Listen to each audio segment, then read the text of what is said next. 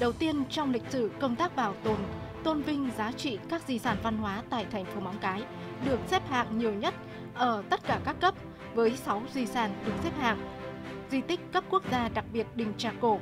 lễ hội Đình Vạn Ninh được đưa vào danh mục di sản văn hóa phi vật thể quốc gia và 4 di tích lịch sử cấp tỉnh,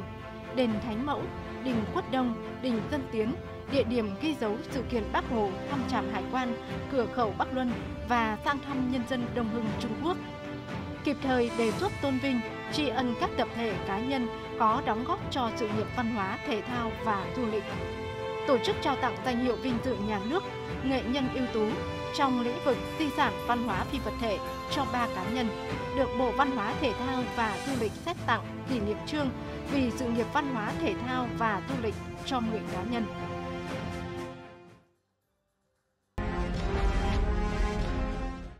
Thu hút khách du lịch đến Móng Cái đạt cao nhất từ trước đến nay với trên 2,5 triệu lượt người, tăng trên 130% so với cùng kỳ, tăng trên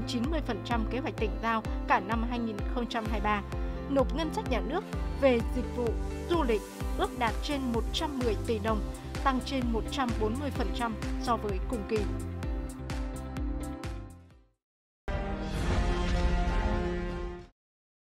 Phục, mở rộng và đổi mới các hoạt động văn hóa, thể thao, du lịch và đối ngoại với thành phố Đông Hưng, Trung Quốc. Trong đó, tham mưu phối hợp tổ chức thành công an toàn trên 40 hoạt động, sự kiện, đặc biệt là chuỗi các hoạt động tại lễ hội Móng Cái, dấu ấn nơi địa đầu Tổ quốc, tại Hội trợ Thương mại Du lịch Quốc tế Việt Trung Móng Cái Việt Nam, Đông Hưng Trung Quốc năm 2023,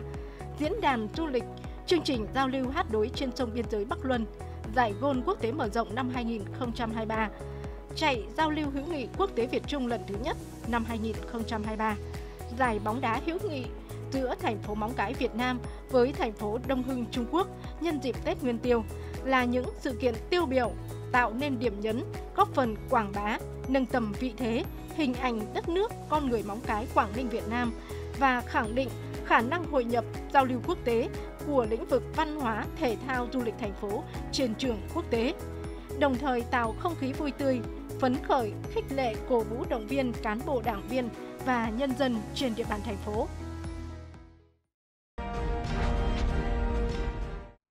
Công tác đào tạo, nâng cao chất lượng nguồn nhân lực được tập trung thực hiện nhiều nhất từ trước đến nay. Với việc tham mưu phối hợp tổ chức thành công 17 khóa đào tạo tại thành phố Móng Cái, hai khóa đào tạo nghiệp vụ du lịch, 15 hội nghị tập huấn cho cán bộ công chức phụ trách chuyển đổi số văn hóa xã phường, ban chủ nhiệm các thôn khu phố, đại diện các câu lạc bộ văn hóa, văn nghệ, thể dục thể thao và các cơ sở kinh doanh dịch vụ văn hóa du lịch cộng đồng trên địa bàn với trên 1.300 lượt đại biểu, học viên tham dự. Phân công cán bộ chuyên môn tham gia 7 lớp do các sở ngành của tỉnh tổ chức.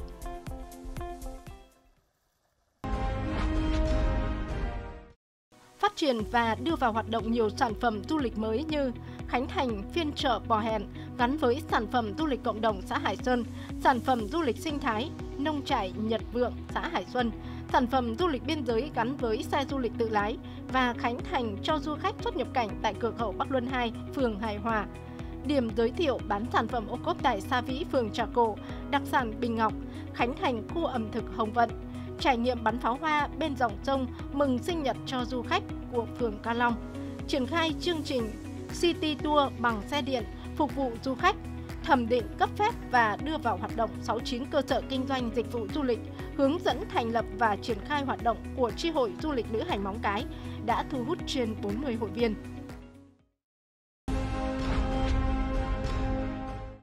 Công tác truyền thông, xúc tiến quảng bá, thu hút du lịch được tập trung bằng nhiều hình thức kết nối từ trung ương tới tỉnh và thành phố, đặc biệt là các hoạt động chiêu thương trong và ngoài nước, chuyển đổi số du lịch với việc hoàn thành lắp đặt các biển quét mã QR code, Wi-Fi miễn phí tại các điểm du lịch, lắp mới biển tấm lớn quảng bá du lịch, tận dụng tối đa nền tảng mạng xã hội Facebook, Zalo, TikTok, tuyên truyền và livestream trực tiếp các sự kiện chính trị, hoạt động văn hóa, thể thao, du lịch của thành phố.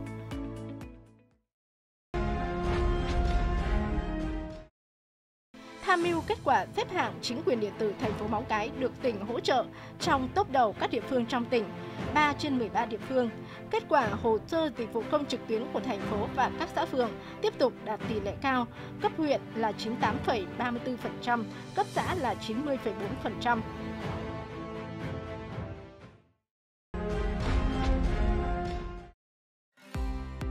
Trên địa bàn thành phố không còn khu dân cư lõm sóng di động cáp Quang, tỷ lệ trạm 4G đạt 95,5%, chỉ đạo hướng dẫn triển khai chuẩn hóa thông tin thuê bao di động, phục vụ chuyển đổi số và đề án 06 trên địa bàn thành phố. Đến nay, tỷ lệ chuẩn hóa cập nhật thông tin thuê bao chính chủ của doanh nghiệp viễn thông Viettel đạt 73%, Vinaphone đạt 92%, Mobilephone đạt 98,9%.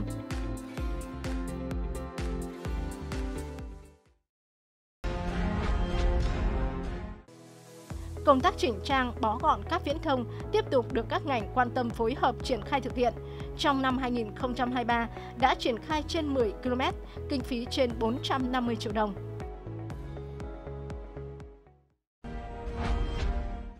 Phong trào toàn dân đoàn kết xây dựng đời sống văn hóa đã đạt được một số kết quả tiêu biểu như tỷ lệ gia đình văn hóa đạt 95,2%, có 100 trên 100 khu dân cư đạt danh hiệu khu dân cư văn hóa, tỷ lệ gia đình thể thao đạt 33%, tỷ lệ người tập thể thao thường xuyên đạt